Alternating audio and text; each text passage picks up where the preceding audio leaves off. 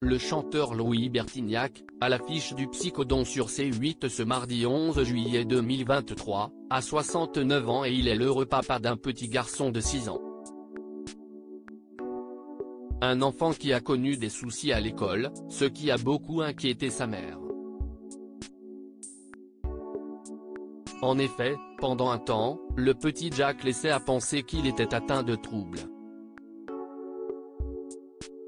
Louis Bertignac sera ce soir sur C8 dans l'émission Psychodon 2023.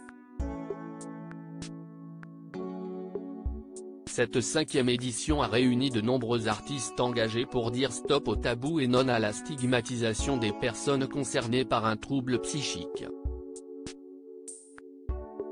Une soirée que voulait soutenir le chanteur et compositeur de 69 ans.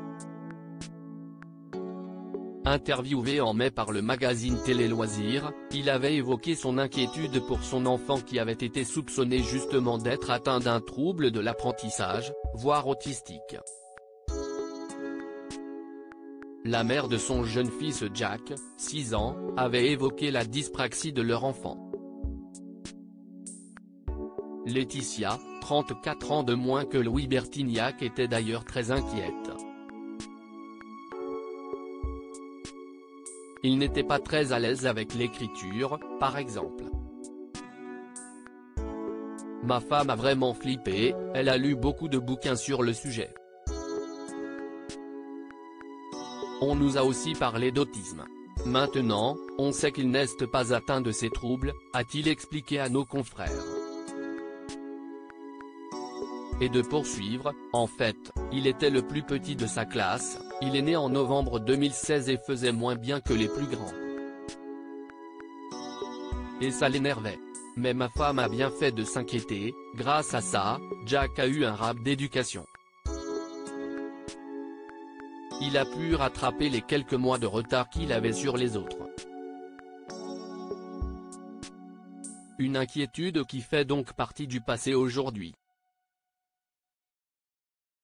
Un enfant qui a solidifié le couple lui qui ne pensait pas arriver à la soixantaine et qui a toujours eu l'impression qu'il pouvait mourir demain est un homme heureux, en pleine forme et à la tête d'une famille épanouie.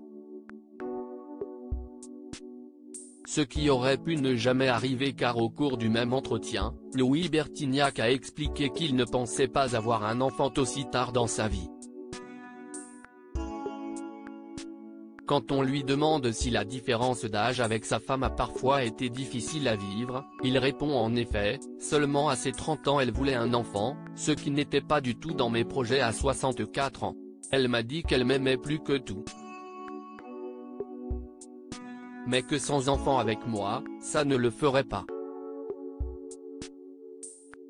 Je n'avais pas envie de la perdre et je ne regrette rien, Jack notre fils, est un amour, il m'éclate.